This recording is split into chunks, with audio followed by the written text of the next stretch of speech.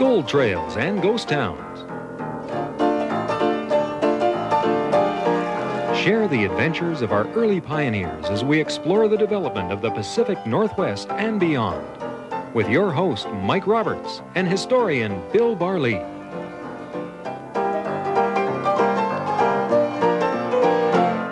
Welcome to Gold Trails and Ghost Towns. I'm Mike Roberts. With me, Bill Barley, our storyteller, raconteur, prospector type friend.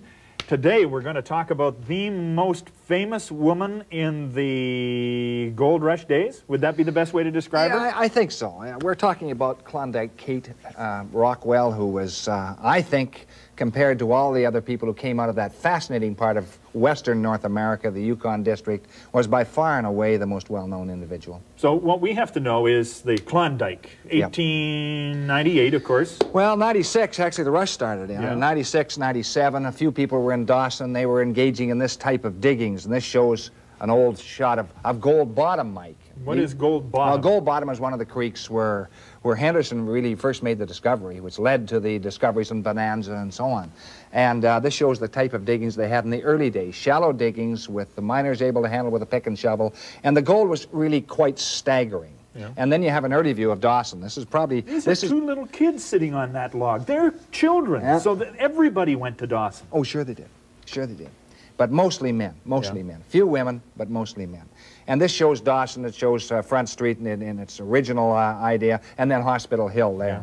Now, And- these guys are rocking gold, this bunch here. Yeah. That looks like a leisurely kind of work, you know, just sort of Yeah, yeah. sitting back and rocking. Well, you had to save water, so rocking was the easiest way to do it. And Mike, it was it, the ground was so rich, and we mentioned that years ago on this. The ground in in, in the Klondike or the Yukon was, I think, probably the best ground in the world, with a possible exception of some ground in Russia, which we don't know much about. Yeah, but they, they, they were hauling gold by the ton out of here. And they got in the difficult way, Mike. Most of them came in over either the Chilkoot Pass and the Chilkoot, and this is a famous shot from the Chilkoot, shows a string of men in an, in an unending line going up the Chilkoot, then going on to Lake Bennett, then down through Miles Canyon and into, into Dawson itself. The other pass was And White the other Pass? pass is White Pass, and here shows White Pass. And not many people on the trail, but it shows the difficulties they had to do to get over it. Yeah. And then when they got right into White Pass, this shows a few mules, surprisingly enough, carrying hay for some horses that are that are working uh, working the, the the trails. And a lot of those horses died, of course.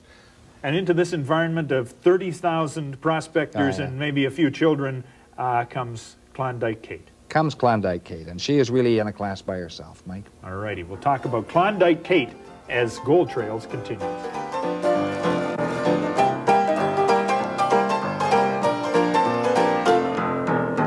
Welcome back to Gold Trails and Ghost Towns. We're talking about the Klondike today. We're talking about the most famous woman in the Klondike, Klondike Kate. But Yeah. before we do that, I mean, this era, this place generated nothing but persons who were bigger than life. Oh, yeah. You had Whitewater Bill Gates. There's an example, you know. A wild, wild man of, of the Yukon. Had to be a stern wheeler captain at one time, was a high stakes gambler. Uh, made and lost a number of fortunes, followed by the direct opposite, Silent Sam Bonifield, who had the bank saloon. High stakes gambler, eventually, gambler, eventually blew his brains out, yeah. Now, Uh, he, he actually had, uh, you, you've been trying to get an artifact of Yeah. his. yeah, he had Maybe 100 that's bad for me to bring this up. The yeah, price just true. went up. Yeah, it did go up. Uh, he, he had hundred dollar uh, poker chips made out of ivory and carved, you know, individually. And I can probably get one from an old friend of mine in Victoria. He has two, but the price, as the thanks Mike, has probably gone up. and uh, but there are others. There, the, the Yep. Lion of the North was Sam Steele, the Northwest Mounted Police uh, there.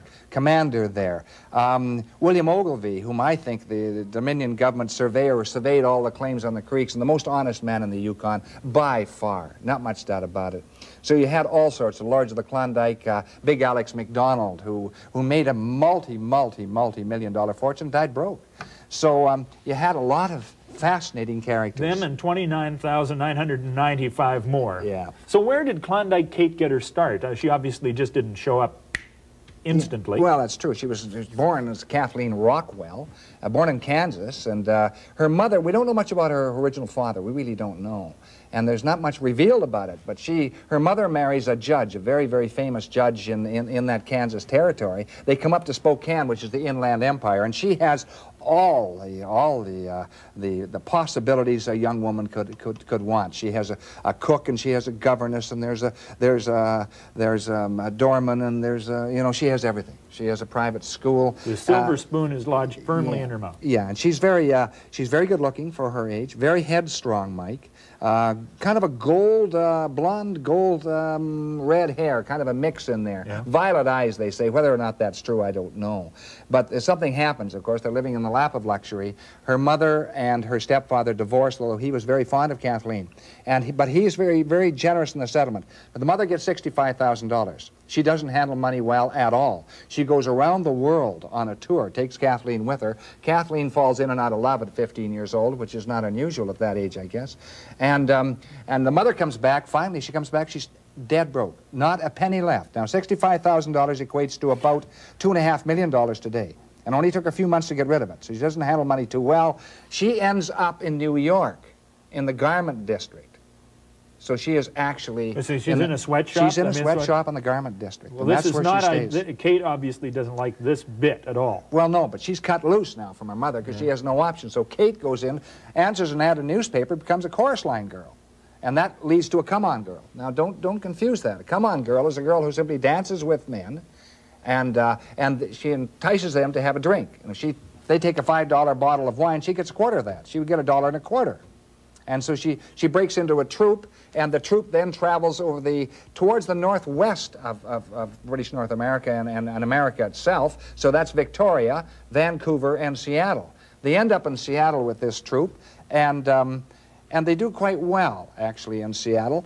And then they hear about a magnificent, absolutely magnificent gold rush coming out of the Klondike or the Yukon Territory. Most people call it the Klondike. And the Argonauts start landing in both in San Francisco and in Seattle. And they make such a hit in Seattle that it turns Seattle right around. This, this is a shot of uh, a warehouse or a storefront selling provisions sure. for the gold fields. Yeah, and most of those provisions are bags of flour. You know, that's the staple. You lived on flour and flour straight, they used to say sometimes, Mike. and, and of course, this attracts, and there soon is a city established in, in this territory, and that's called Dawson City, which yeah. is, you know, very, very important part of the, of the whole picture. So they start gravitating north, and they go into, into Lake Bennett. And Lake Bennett is, is uh, sort of the kind first of the, stop on route yeah, to Dawson. one the of the major stops on the route to Dawson. They build the boats there, so they come into Lake Bennett, and here's here's a couple of shots of, of the area as it looked in that day. This is the bank, the Eternal Bank, the Bank sure. of Nova Scotia, Merchants no, Bank of Merchants uh, Bank of Halifax, right. Mike. Merchants Bank of Halifax. In the right province, wrong town. That's right. It was it was incorporated with the Bank of Commerce, I think, in 1921, if I remember correctly. And so anyway, so this is gold dust. They're gathering gold dust. Here's a Main Street shot on Lake Bennett before they're taking off off for Dawson City, and all the people are gathered there. They're roping them off. They're getting ready for a 100-yard or 50-yard dash, Mike. Sure. Anything to pass that's the right. time and uh, right. get a little wager going, and yeah. that's the kind of town it was. Precisely. And this is the canyon they go through. This is Miles Canyon, and this is this is a a kind of a relatively calm part of the canyon. People who ran that canyon, they didn't allow women to run the canyon. She ran the canyon in men's clothes. The Northwest Mounted Police monitored everybody going down. They didn't recognize she was a woman or didn't want to. I don't know. And she finally makes it down, and she comes straight in past Lousetown, which is what they call Klondike City, on the other side of the uh, the river from Dawson. And that's where people who didn't couldn't afford Dawson went to. Lousetown. Lousetown that is the yeah. most uh, horrible name you could. I mean, it's. Well, it isn't complimentary. It's not Mike. complimentary. No, it's complimentary. but then you get into Dawson, and Dawson itself is is kind of interesting. You know, I mean, you, the streets are absolutely shoulder to shoulder with miners and, and, and gamblers and businessmen from all parts of North America. They're gravitating. Remember, this was just at the end of a depression. Yeah. So this kind of turns things around, and Dawson City, of course, is one of the great recipients. And I mean, this shot here shows the, the boats lined up on the shore. Yeah. The town is, is booming and sure. bustling. Uh, The stern wheelers are, well, we already mentioned a couple yeah. of stern wheeler captains. They were gung ho. Yeah. Oh, sure they were. And downtown Front Street was Dawson's uh, sort of main attraction. Sure. Sure, and uh, so Front Street is, this is how it would have looked, and this was the main street in Dawson, if you examine all the photos that come out of Dawson. And remember, this is a big, big town. This is a glittering capital of the, of the northern part of the world. There's yeah. really nothing can touch it, Mike. And here's some of the creeks, you see. Here's, here's one of the creeks, and this is probably, I think, uh, Bonanza Creek. And Bonanza That's Creek the cabin is, 20 above. So yeah. that was 20 above where the gold was first yeah, found? Yeah. And uh, so then these guys are all going to be working at sure. that claim. Sure. And this next one is uh, how many below? That's uh, 12 below. 12 below? That's 12 below in Bonanza. And the other one's 20 above, I think, on Dominion Creek. Yeah. But this is how the claims would have looked, taken at the time by the various photographers in Dawson City. And there were a number of them, Mike. Yeah. A lot of different photographers. So into this environment walks uh, Kate Rockwell, who's not yet attained her uh, her reputation as Klondike Kate. No, she's one of a number of dancers who come into Dawson City. And, you know, uh, she came in on, a, on the arm of a guy who was kind of interesting, a guy called Alex Pantages. And the Pantages family are still in Vancouver. Very the well. Pantages Theater, That's I've right, heard of sure. that. He became a, a theater mogul. But he wasn't at the time. He was a young Greek Im immigrant, great deal of charm. Uh, women were attracted to him. At this time, too, that Kate Rockwell was, was actually engaged to a guy called Danny Allman. And Danny Allman had been uh, in a minstrel troupe back in New York State, and they were engaged, and he was coming up to see her. Unfortunately, he stops in Vancouver, catches some, some plague or some, something that, that causes his demise immediately, overnight. And waiting for, of course, is, is Alex Pantages. And uh, he, with his, with his ability to, to promote, promotes her in in, in a grand style. And now, she, she, becomes... she is a, a figure unto herself, as you already pointed out, quite, quite uh, beautiful, oh, yeah. Uh, quite statuesque, and she makes her mark in oh. this place. Oh, indeed she does. She dances on the stage of the old of the old Orpheum, and this is a shot of the Orpheum. Doesn't look very grand by today's standards, but in Dawson City that was something. And you look up and, and around the floor of the Orpheum, and this is a masquerade ball, but you can see these, these various boxes up there, and these were where the people who could really afford to, uh, to uh, sit in the boxes and watch the show down below. So what does she do? She's a dance hall girl? Yeah, she's, she's a dance hall girl. She sings songs, and, uh, and this is a uh, kind of a full shot of one of, her, one of her costumes that she would have worn, and this may have been taken by Pantages. I can't trace it down. Quite possibly it was. She's about 18 years old at this time. And she has some competition, Mike. Yeah. Uh, she has Diamond Tooth Gertie. Uh, she has Gussie. Diamond Tooth Gertie. You yeah. can't go too quickly over these. They're yeah. wonderful names. Yeah. Well, Diamond Tooth Gertie was known as that because she had a, a diamond right set in one of her front teeth, which made her quite quite unusual, but really didn't come up to the class of of, uh, of Kate Rockwell. Now, I mean, what do you pay stars like her in these days? Well, let's let's look at the wages, Mike. Wages were about um, for a good miner up there um, just a few dollars a day, varied how good the mine was. Uh, in, in, the, in the United States, stateside, or Canada, uh, you would get about a dollar fifty a day. She was making about $30,000 a year. You do your old multiplication times 40, and you've got one point two million. Two million dollars yeah. a year she's yeah. making. Yeah, staggering. And that's just base salary, I take it. That's right. And she and Pantages, according to her memoirs, were uh, going to get married and they were partners, equal partners, and so on. And that, that may indeed be the case. I won't question that. And uh, so she, she makes all sorts of money, and she makes it by unusual ways. She does no, she's no longer a come-on girl, but when she dances and when she sings, and remember, this is a woman who stopped traffic in Dawson City. When she walked down the street, men just stood and looked at her. First of all, because there weren't many women in Dawson City at that time. There were some, but not many. And she was so striking with, the, with her kind of her red, gold, blonde hair. And uh, also, they, uh, they tended to throw their hats in the air and cheer when she came by. Now, this, this would kind of turn your head a little bit if you're a young I, woman. I, I would be impressed. I would uh, begin to strut if that 19. was the... No, was, I mean, she uh, a, uh, uh, a woman of ill repute, or was she had a good reputation here? No, I, I think she, uh, she, there's probably not much doubt that, that she and Pantages were lovers, but, but she had a good reputation. She was not uh, from the, the back streets of, of Dawson, so that um, So she was. So she these was, people, actually, the miners really must have held her in esteem. Oh, sure. She was the first pinup girl in that area, which is interesting. You know, because they had pinup girls in the 1890s and 1900s. Not so much anymore, but, but certainly she was one of them. She must have attracted some devotees. Oh, of course she did. And what happened, of course, she had all sorts of ways to get extra money. They'd throw, when she sang and when she danced, they would throw nuggets onto the stage. The occasional careless or drunk miner would throw a whole, would throw a whole bunch of gold onto it in the, in the form of a gold poke, which is a leather sack containing gold. That was hers once it hit the stage. And she would wander around circulating with the miners at the various tables after. Not as a come-on girl, but she would have a bracelet which would have, uh, we'll say, four or five double eagles in it, Mike, which is a $20 gold piece. Yeah. But one of the places would be empty. Be vacant. Somebody said, oh, my dear, you've, you've missed that. And they they'd put a $20 gold piece in there. She'd also have a belt on. This was common Yeah. with, the, with, the, with the dance hall queens. They would have a belt there with $20 gold pieces. Want to show you a $20 gold piece. I mean, this this is just, oh, don't drop it, it'll bruise. now, these are, these are gold pieces. Yeah, And this is, this is what would be in her belt. This would be in her belt. She would probably have 20 of those in her belt. Look at that. And she would have one of them missing, or perhaps two, Yeah. one on either side, so they couldn't see the other side, you see. Yeah. And they would, she would get these replaced each night. Well, isn't that a spectacular find? I can't find the belt. Love to find one for my collection. And I, You can find the gold so. anywhere, but you can't find the belt. So what happens, Mike, is Dawson is a glittering, glittering part of the North for about three years. But finally, just after the turn of the century, it starts to slip. And it does start to slip, I think, rather, rather significantly. So they decide that they will look for other, for other pastures and better pastures, Mike. Okay, let's take a break here. Be back in just a second to continue. Listen to this. Makes such a lovely sound, doesn't it? We'll continue our discussion of uh, Klondike Kate right after these words. Don't go. away.